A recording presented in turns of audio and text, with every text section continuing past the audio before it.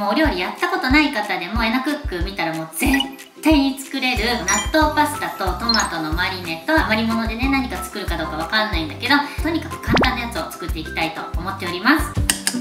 簡単すぎて本当の時短。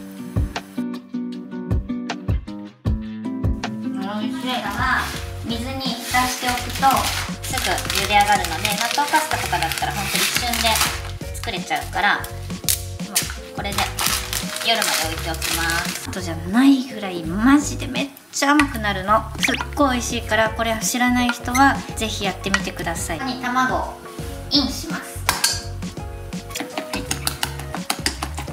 とぶっかけていきます。